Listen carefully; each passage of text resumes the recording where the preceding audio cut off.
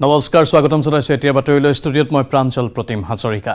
আজি অনুষ্ঠিত হ'ব প্ৰদেশ কংগ্ৰেছৰ কোৰ কমিটিৰ বৈঠক। এ আই ডি এফ আৰু বি পি এফৰে মিত্ৰতা আৰু উপ নিৰ্বাচনৰ প্ৰস্তুতি সম্পৰ্কে আলোচনা কৰিবলৈ প্ৰদেশ কংগ্ৰেছৰ কোৰ কমিটিৰ এই বৈঠকৰ আয়োজন কৰা হৈছে। মহাজোঁটত বদৰুদ্দিন আজমলৰ এ আই ডি এফ আৰু হাগ্ৰামা মহিলাৰীৰ বি পি এফ থকাটো বিচৰা নাই কংগ্ৰেছৰ বহু নেতা কৰ্মীয়ে সেয়ে আজি কোৰ কমিটিৰ বৈঠকত সিদ্ধান্ত গ্ৰহণ কৰিবলৈ আগবাঢ়িছে প্ৰদেশ কংগ্ৰেছ। কংগ্ৰেছ নেতা তথা প্ৰাক্তন মন্ত্ৰী ৰকিবুল হুছেইনৰ মন্তব্য নিৰ্বাচনৰ পাছতেই পাভলতি মাৰিছে এ আই ডি এফে। সেয়ে এ আই ডি এফৰ পৰা আঁতৰি অহাৰ এয়াই এক সুবৰ্ণ সুযোগ। আনহাতে কংগ্ৰেছ নেতা কমলক্ষদেৱ পুৰকাষ্টই কয় যে শাসকীয় বিজেপি চৰকাৰক প্ৰশংসাৰে উপচাই এ আই ডি এফে জ্বলা কলা খুৱাইছে কংগ্ৰেছক। গতিকে এ আই ডি এফৰে মিত্ৰতা ৰক্ষা আৰু অসম্ভৱ। একে সময়তে জ্যেষ্ঠ নেতা শৰদ বৰকটকীয়েও এ আই ডি এফৰ সৈতে মিত্ৰতাৰ বিৰুদ্ধে মন্তব্য প্ৰকাশ কৰিছিল। এনে পৰিস্থিতিত আজিৰ এই বৈঠকতে এ আই ডি এফৰে মিত্ৰতা সন্দৰ্ভত চূড়ান্ত সিদ্ধান্ত লোৱাৰ লগতে আলোচনা হ'ব উপ নিৰ্বাচনৰ প্ৰস্তুতিৰ বিষয়ে। এইটো এটা উপযুক্ত সময় যিহেতু চিন্তা চৰ্চা কৰিব লাগে যে এল আই থাকিব লাগে নে নালাগে। যিটো ফিল কৰিছোঁ যে এই সময়ত ইউ ডি এফক থাকিব নে নাথাকে সেই কথাটো সিদ্ধান্ত লোৱাৰ এটা উপযুক্ত সময়।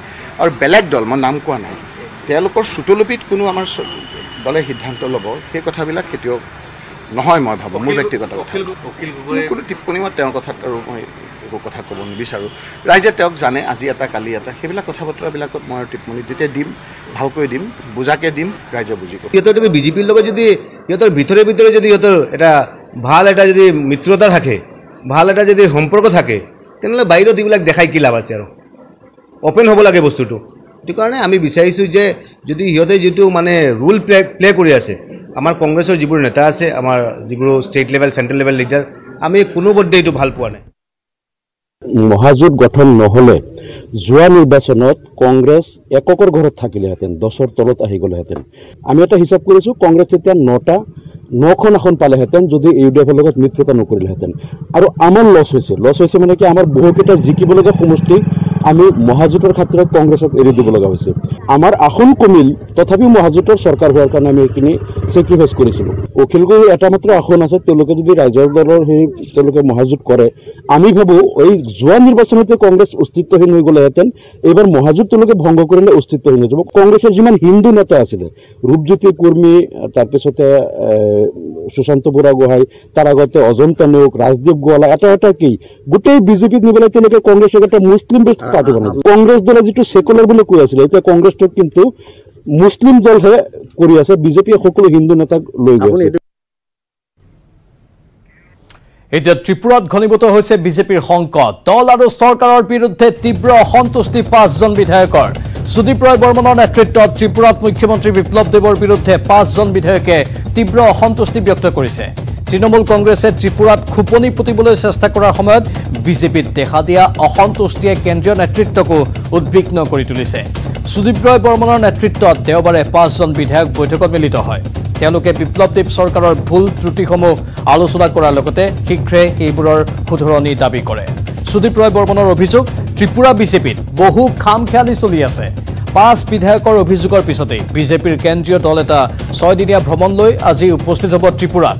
সাংসদ তথা বিজেপিৰ ৰাষ্ট্ৰীয় সম্পাদক দিলীপ শইকীয়া বিজেপিৰ উত্তৰ পূবৰ সাংগঠনিক সচিব অজয় জামুৱাল ত্ৰিপুৰা বিজেপিৰ প্ৰভাৰী বিনোদ শংকৰ ত্ৰিপুৰা আৰু অসমৰ বিজেপিৰ সাংগঠনিক সম্পাদক ফণীন্দ্ৰ নাথ শৰ্মা আজি ত্ৰিপুৰালৈ ৰাওনা হ'ব।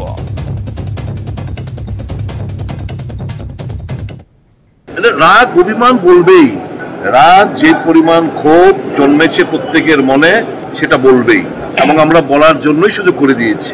এগুলো তো যারা যাদের শোনার কথা, এরা শুনতে চাইছে না বলেই তো আজকে পুরনো কার্যকর্তা। আমাদের এখানে দেখুন, এখানে প্রাক্তন দলের সভাপতি থেকে শুরু করে প্রত্যেকজন, আর যারা কথা বলছেন, সব পুরনো ভারতীয় জনতা পার্টির নেতৃত্ব। আমরা তো নতুন। এদের কথা শুনতে চাইছি না সরকার দল। তা আমরা শুনব, শুনে এটার একটা সামারাইজ করে সরকার এবং দলের কাছে আমরা উপস্থাপন করব, যাতে করে সংশোধন আনা যায় দল এবং সরকারের।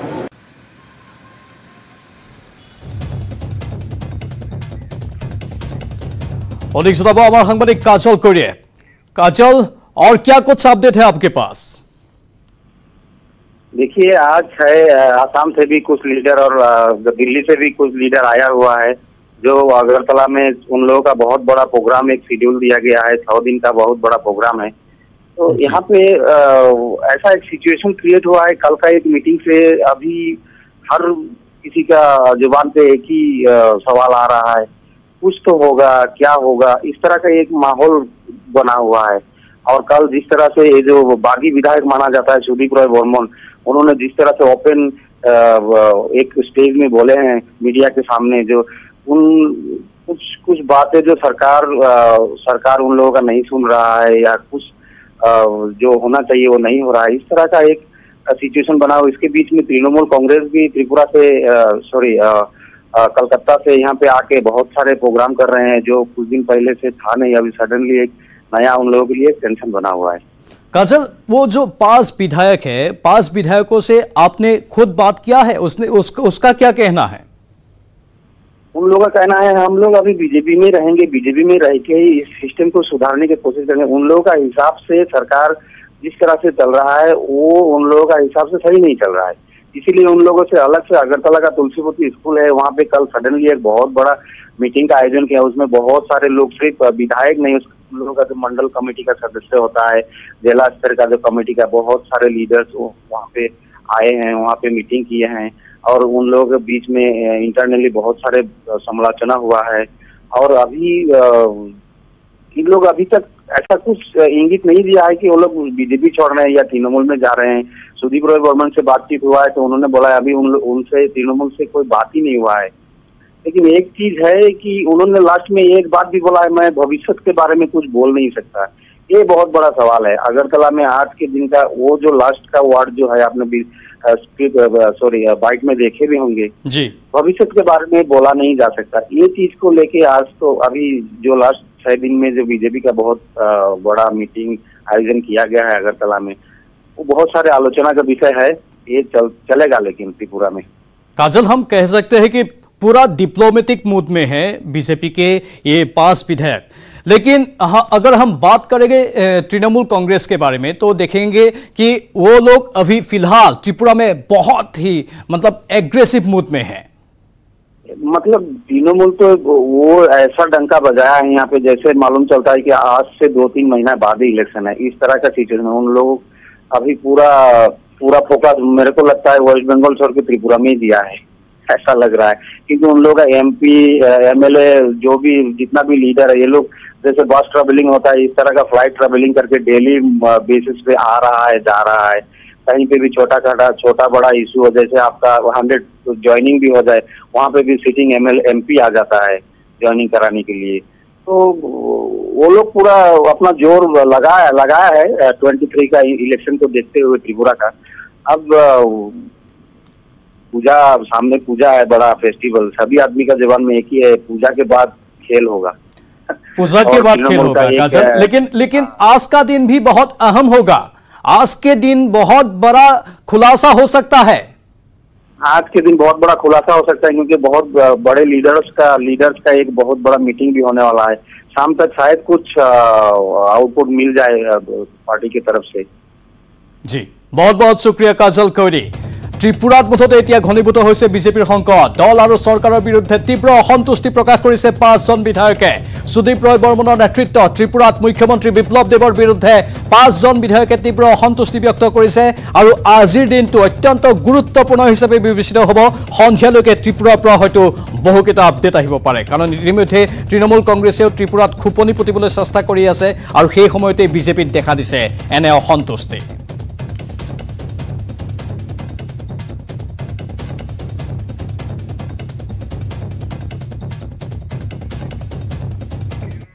এতিয়া পুনৰ ৰক্তাক্ত কাবুল। ৰকেট আক্ৰমণত নিহত হ'ল দুজনকৈ লোক। আহত হৈছে আন তিনিজন লোক। কাবুল বিমানবন্দৰৰ সমীপত ৰকেট আক্ৰমণ কৰা হয়। এটা ঘৰত আঘাত কৰে সেই ৰকেটটোৱে। তিনিদিন পূৰ্বে কাবুল বিমানবন্দৰত আত্মঘাতী বিস্ফোৰণত নিহত হৈছিল তেৰজন মাৰ্কিন সেনা। আহত হৈছিল এশ সত্তৰজনৰো অধিক লোক। মুঠতে উত্তপ্ত হৈ আছে ৰক্তাক্ত হৈ আছে কাবুল। তালিবানে আফগানিস্তান দখল কৰাৰ পাছতেই ধাৰাবাহিক গতিত এনেধৰণৰ বিক্ষিপ্ত হিংসাসমূহ তাত বৃদ্ধি পাবলৈ ধৰিছে। সময় বাগৰাৰ লগে লগে হিংসাৰ পৰিমাণো ক্ৰমাৎ যেন বাঢ়িবলৈ ধৰিছে। অধিক ভয়ংকৰ হৈ পৰিছে তাৰ পৰিস্থিতিৰ। কিছু দৃশ্য আপোনালোকক দেখুৱাইছোঁ। পুনৰ ৰকেট আক্ৰমণত নিহত হ'ল দুজন লোক আহত হৈছে আন তিনিজন লোক। কাবুল বিমানবন্দৰৰ সমীপতেই এই ৰকেট আক্ৰমণৰ ঘটনা সংঘটিত হয়। এটা ঘৰত আঘাত কৰে ৰকেটটোৱে। এয়া ৰকেট লঞ্চাৰৰ আক্ৰমণ। তিনিদিন পূৰ্বে কাবুল বিমানবন্দৰতো আত্মঘাতী বিস্ফোৰণত নিহত হৈছিল তেৰজন মাৰ্কিন সেনা য'ত আহত হৈছিল এশ সত্তৰজনৰো অধিক লোক।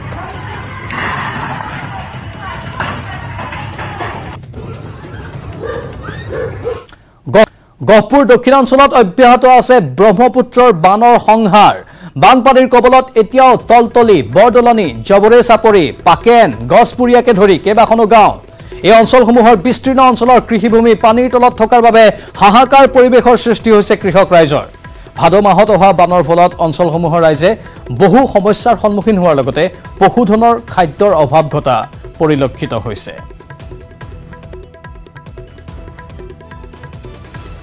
অধিক জনাব আমাৰ সাংবাদিক পলাশ ফুকনে। হয় নিশ্চয়। গহপুৰত এতিয়া ব্ৰহ্মপুত্ৰৰ বাঢ়নী পানীৰ কবলত এতিয়া যথেষ্ট দুৰ্বিষহভাৱে জীৱন পাৰ কৰিবলগীয়া হৈছে একাংশ বৰ্ণাঢ্য আৰু মই বৰ্তমান উপস্থিত আছোঁ। গহপুৰৰ তলতলিত মোৰ সতীৰ্থই দেখাব সকলো ফালে কেৱল পানী আৰু পানী। সকলো ফালে সাগৰ সদৃশ পৰিৱেশৰ সৃষ্টি হৈ আছে আৰু তাৰ মাজতে দ্বীপ সদৃশ পৰিৱেশত থাকিবলগীয়া হৈছে কেইবাটাও পৰিয়াল তলতলি অঞ্চলৰ। আমি তেখেতসকলৰ লগতো কথা পাতিবলৈ চেষ্টা কৰিম। তেখেতসকল ওলাই যাওঁ বুলি ক'লে এতিয়া যাব নোৱাৰে কাৰণ সাগৰ সদৃশ পৰিৱেশে বিৰাজ কৰি আছে গহপুৰ দক্ষিণাঞ্চলৰ বাকৰিদলনি পঞ্চায়তৰ কেইবাখনো গাঁও। যথেষ্ট সমস্যা হৈছে তেওঁলোকৰ পশুধন আছে পশুধনসমূহ পানীৰ মাজত আবদ্ধ হৈ থাকিবলগীয়া এক পৰিৱেশৰ সৃষ্টি হৈছে। যথেষ্ট সমস্যা আছে এওঁলোকৰ কি খাইছে কি তেওঁলোকৰ যথেষ্ট সমস্যা আচলতে আমি কথা পাতিম। দাদা কওকচোন আপোনালোকে কেনেকুৱা ধৰণৰ সমস্যাত ভুগি থাকিবলগীয়া হৈছে? আমাৰতো এতিয়া বহুত সমস্যা হয়। এতিয়া চাওক গাই গৰুৰ খাবলৈও নাই নিজৰো তেনেকুৱাই কণ্ডিশ্যন ক'তো ওলাইও যাব নোৱাৰোঁ। কণ্ডিশ্যন আমাৰ তেনেকুৱাই হৈ আছে। আপোনালোকে মানুহে এতিয়া কি খাইছে কি হৈছে? মানুহটো আৰু যেন তেন চলি আছোঁ আৰু ঈশ্বৰ আৰু যি আছিলে ঘৰতে সেইটোৱে খাই পেলাই চলি আছোঁ। একোৱে পোৱা নাই।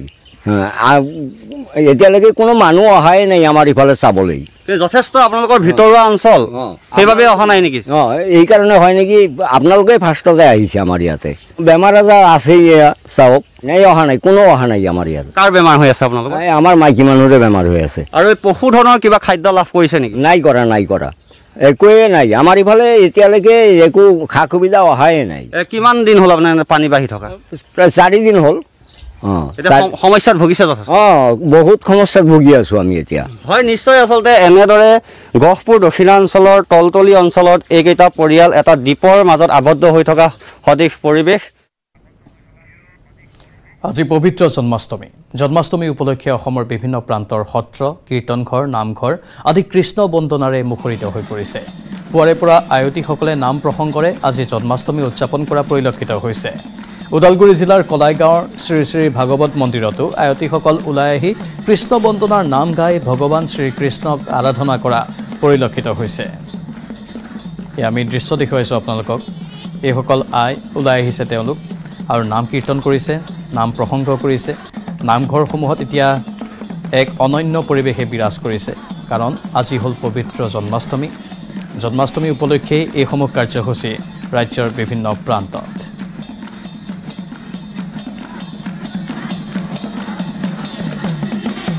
ওদালগুৰিৰ পৰা অধিক জনাব আমাৰ সাংবাদিক ৰিপুঞ্জয় নাথে আজি শ্ৰীকৃষ্ণৰ জন্মতিথি আৰু সেই জন্মতিথি জন্মাষ্টমী উপলক্ষে ওদালগুৰি জিলাৰ নামঘৰ সত্ৰত সকলোতে হৰিণ নামেৰে মুখৰিত হৈ পৰিছে কৃষ্ণ নামেৰে মুখৰিত হৈ পৰিছে। এইদৰে ওদালগুৰি জিলাৰ ভাগৱত মন্দিৰ প্ৰাংগণত এইদৰে আচলতে যি আয়তীসকলে আহি এইদৰে আচলতে তেওঁলোকে যি হৰিণ নামেৰে মুখৰিত কৰি তোলা পৰিলক্ষিত হৈছে। মোৰ কেমেৰা সহযোগে দেখুৱাই আছে। এইদৰে আচলতে কৃষ্ণ নামেৰে এইদৰে মুখৰিত হৈ পৰিছে মন্দিৰ আৰু সত্ৰৰ আৰু নামঘৰসমূহ।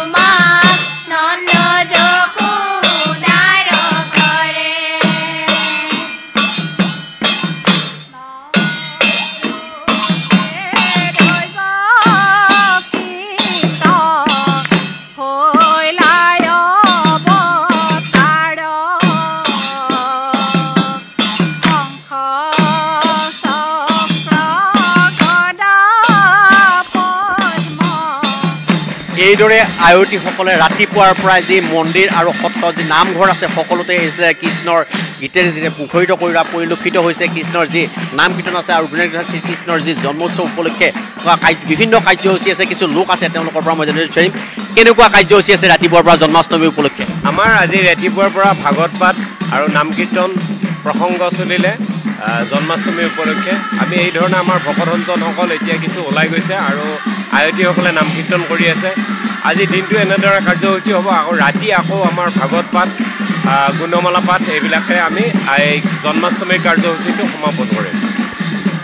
এইদৰে আচলতে এই ওদালগুৰি জিলাৰ যি কলাইগাঁৱৰ যি ভাগৱত মন্দিৰ আছে ভাগৱত মন্দিৰত এইদৰে আয়তীসকলে কৃষ্ণৰ যি গুণানী কীৰ্তনে কৃষ্ণৰ গীত আছে কৃষ্ণৰ নামেৰে আচলতে মুখৰিত হৈ হৰি হৰিণ নামেৰে আচলতে মুখৰিত হৈ থ'ব পৰা পৰিলক্ষিত হৈছে। মুঠতে আজি ৰাজ্যৰ সকলো প্ৰান্ততে এই অনন্য পৰিৱেশ। ভাদ মাহৰ আজিৰ এই অষ্টমী দিনটোত পালন কৰি অহা হৈছে ভগৱান শ্ৰীকৃষ্ণৰ জন্মোৎসৱ। জন্মাষ্টমী উপলক্ষে তেজপুৰৰ শিল্পী দম্পতী শনীন্দ্ৰ ডেকা আৰু গীতা ভূঞা ডেকাই পুৱাতেই জুৰিলে ভক্তিমূলক গীত। শিল্পী দম্পতীক সহযোগ কৰে কণ্ঠশিল্পী প্ৰণামী বৰঠাকুৰে।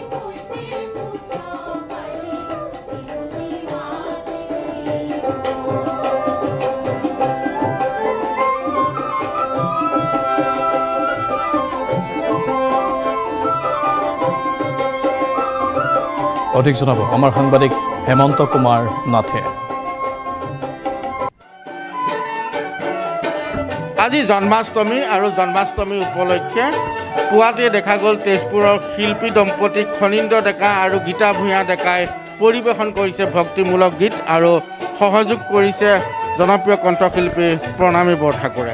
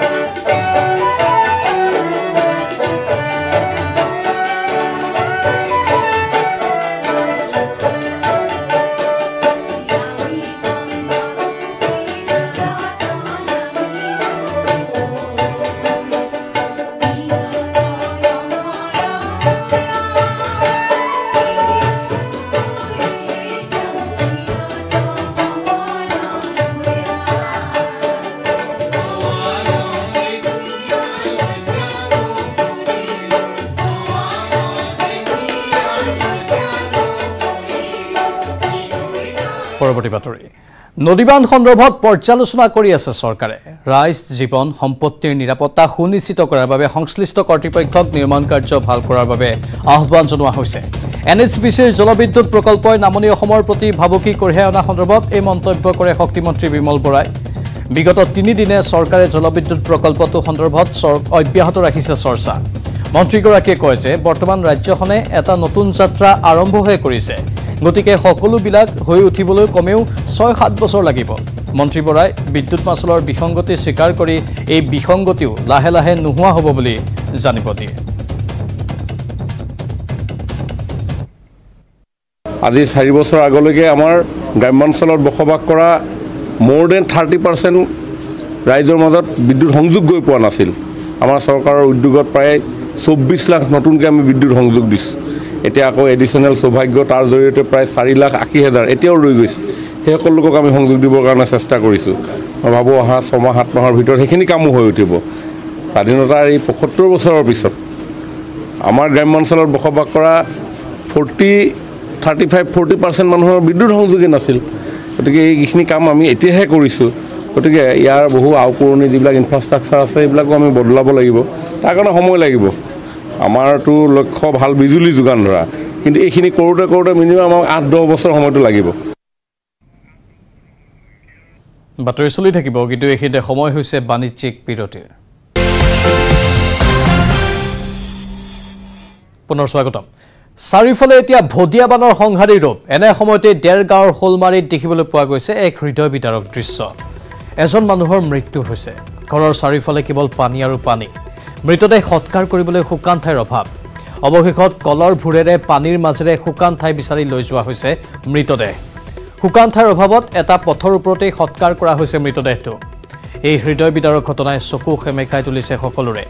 ডেৰগাঁৱৰ শোলমাৰীৰ টিপাই শইকীয়া নামৰ ব্যক্তিজনৰ মৃত্যুৰ পিছত এতিয়া পৰিয়ালৰ মাজত হাহাকাৰ অৱস্থা। শ্ৰাদ্ধ অনুষ্ঠিত কৰিবলৈও বিমূৰত পৰিছে পৰিয়ালটো। কাৰণ বানৰ পৰা বাচি আছে কেৱল ঘৰৰ ভেটিটোহে।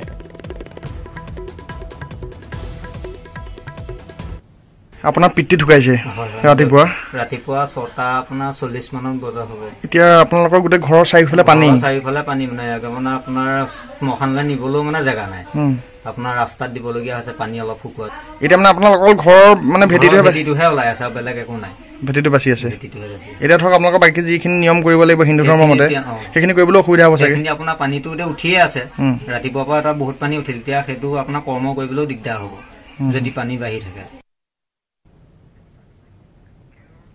আমোলে ফেচবুকত আয়োজন কৰিছে বিশ্বৰ সৰ্ববৃহৎ লাইভ ৰেচিপি শ্ব' য'ত তিনি হেজাৰ তিনিশগৰাকী চেফে যুগুতাইছে দুই হেজাৰ নশটা খাদ্য প্ৰণালী। আজি তেওঁলোকে উদযাপন কৰিছে লাইভ ৰেচিপি শ্ব'ৰ পাঁচশ দিন পূৰ্তি। পোন্ধৰ ঘণ্টীয়া এই ৰেচিপি শ্ব'ত পোন্ধৰগৰাকী চেফে প্ৰতি ঘণ্টাত তৈয়াৰ কৰিব একোটাকৈ নতুন প্ৰকৰণ। আগন্তুক পাঁচ ঘণ্টাত এই পাঁচগৰাকী চেফক নিৰ্বাচিত কৰা হৈছে সুস্বাদু প্ৰকৰণ তৈয়াৰৰ বাবে। গতিকে চাই থাকক আমোল ফেচবুক পেজ।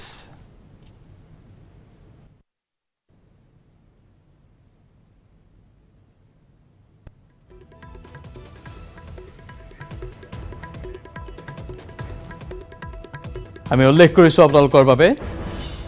আমোলে এক সৰ্ববৃহৎ শ্ব'ৰ আয়োজন কৰিছে ফেচবুকত। এয়া হ'ল বিশ্বৰ সৰ্ববৃহৎ লাইভ ৰেচিপি শ্ব' য'ত তিনি হেজাৰ তিনিশগৰাকী চেফে যুগুতাইছে দুই হেজাৰ নশ খাদ্য প্ৰণালী।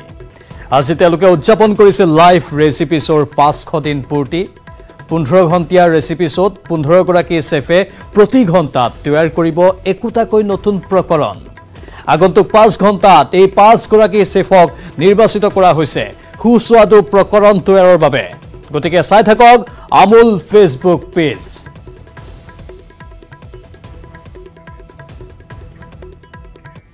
ৰাখে হৰি মাৰে কোনে মাৰে হৰি ৰাখে কোনে? নিশ্চিত মৃত্যুৰ পৰা উভতি আহিল এগৰাকী বৃদ্ধা। তামোলপুৰত খৰস্ৰোতা পাগলাদিয়াত উটি যোৱা বৃদ্ধাক জীৱন্তে উদ্ধাৰ কৰা হয়। নৈৰ সোঁতত পাঁচ কিলোমিটাৰ উটি আহিছিল বৃদ্ধাগৰাকী। এদল যুৱকে উদ্ধাৰ কৰে বৃদ্ধাগৰাকী। জোৱায়েকৰ ঘৰলৈ আহি নৈত উটি গৈছিল বৃদ্ধাগৰাকী। ইউচুফ আলী নামৰ যুৱকৰ নেতৃত্বত কেইজনমান স্থানীয় লোকে নদীখনত সাঁতুৰি সাঁতুৰি বৃদ্ধাগৰাকীক জীৱন্তে উদ্ধাৰ কৰাৰ লগতে তামোলপুৰ প্ৰাথমিক স্বাস্থ্য কেন্দ্ৰলৈ লৈ যায়। সম্প্ৰতি বৃদ্ধাগৰাকী সুস্থ হৈ উঠিছে।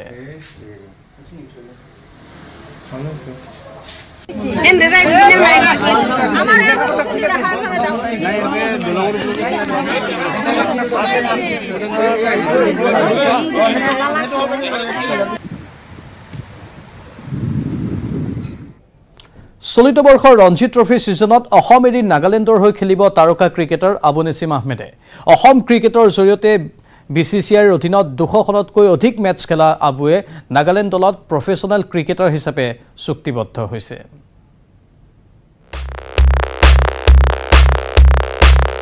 নাগালেণ্ড ৰঞ্জী দলত অসমৰ আবু নেছিম অসম এৰিলে ৰাজ্যৰ সফল ক্ৰিকেটাৰ আবু নেছিম আহমেদে। অসমৰ সফল অলৰাউণ্ডাৰ আবু নেছিম উত্তৰ পূৰ্বাঞ্চল তথা অসমৰ প্ৰথমগৰাকী আই পি এলৰ ক্ৰিকেটাৰ আবু নেছিম অসম দলৰ হৈ বি চি চি আইৰ অধীনত দুশতকৈ অধিক মেটছ খেলা আবু নেছিম এইবাৰ প্ৰফেচনেল ক্ৰিকেটাৰ হিচাপে চুক্তিবদ্ধ হৈছে নাগালেণ্ড ৰঞ্জী দলত। মুম্বাই ইণ্ডিয়ানছ আৰু আৰ চি পিৰ সৈতে সাত বছৰ আই পি এল খেলা আবু নেছিমে সম্প্ৰতি কৰি আছে কঠোৰ অনুশীলন। লক্ষ্য নাগালেণ্ড ৰঞ্জী দলক আগুৱাই নিয়া। এইবছৰ মই নাগালেণ্ড ক্ৰিকেট এছ'চিয়েশ্যনৰ হৈ ৰঞ্জী ট্ৰফি খেলিম আৰু তেওঁলোকে মোক আজি দুসপ্তাহমান আগত অফাৰ দিছিল এজ এ গেষ্ট প্লেয়াৰ খেলিবৰ কাৰণে আৰু মই দুদিনমান আগতে তেওঁলোকৰ লগত চুক্তিবদ্ধ হৈছোঁ।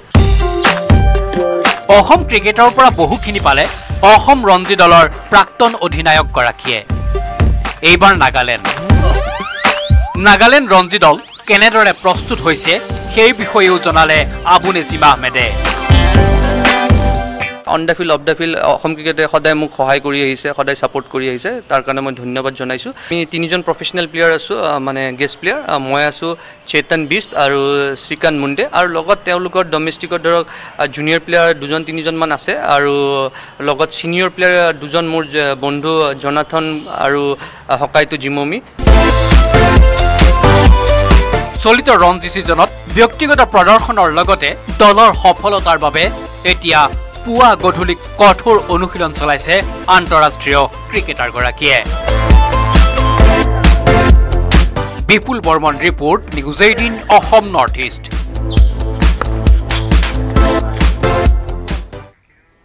আনফালে অলিম্পিয়ান লভলীনা বৰগোহাঁইক ভাৰতীয় ষ্টেট বেংকৰ সম্বৰ্ধনা। হোটেল তাজ ভিভান্তাত অনুষ্ঠিত হয় এই সম্বৰ্ধনা অনুষ্ঠান।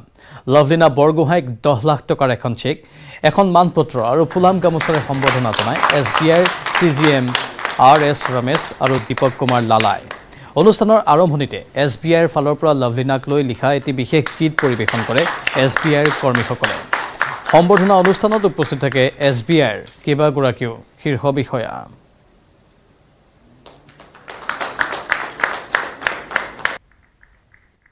स्टेट बैंक ऑफ इंडिया की तरफ से हम लवलीना बरगोहाई को सम्मानित कर रहे हैं।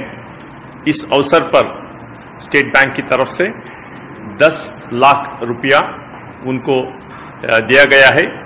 लवलीना बुरगोहेन को भी, State Bank of India wealth customer भी हमने घोषित किया है। তেওঁলোকৰ মৰম চেনেহ বহুত বহুত বেছি ভাল লাগিছে। আৰু এনেদৰে মটিভেশ্যন সকলোৰে যেনেদৰে কৰি আছে তেনেদৰে আৰু বেছি মনত এনেকুৱা হয় যে আৰু আগ আৰু ভাল কৰিব লাগিব। আৰু আমাৰ নিজৰ আমাৰ দেশখনৰ যাতে মই আৰু নাম জ্বলাব পাৰিম সৰু সৰু ল'ৰা ছোৱালীৰ ওপৰতো নিশ্চয় মোৰ এইটোৱে আছে যে তেওঁলোকক মই কেনেদৰে আগবঢ়াই নিব পাৰোঁ। কিন্তু ল'ৰা ছোৱালীখিনিক আমাৰ গভমেণ্টৰ পৰাও যেনেদৰে সহায় কৰি আহিছে এতিয়া চেণ্টাৰ টেণ্টাৰ বনোৱাৰো কৰি আহিছে। বহুত ল'ৰা ছোৱালী ওলাই খেলিম বুলি ক'লেও খেলিবলৈ নোৱাৰে।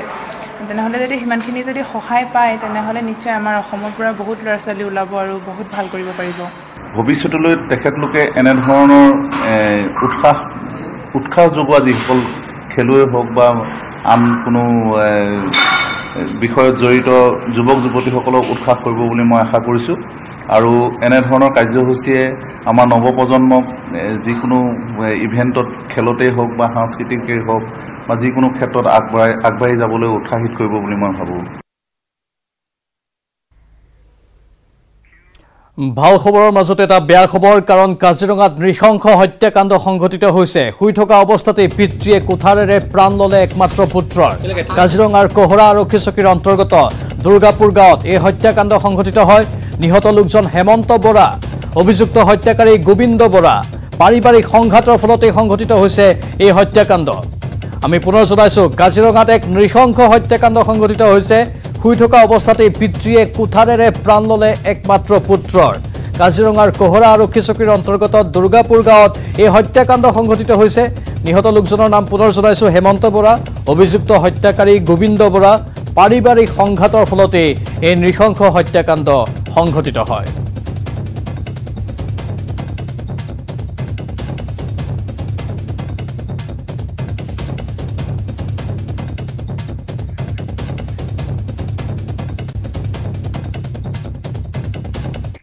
ধাৰাবাহিক গতিত আমি খবৰসমূহ জনাই থাকিম কিন্তু এইখিনিতে সময় হৈছে বাণিজ্যিক বিৰতিৰ।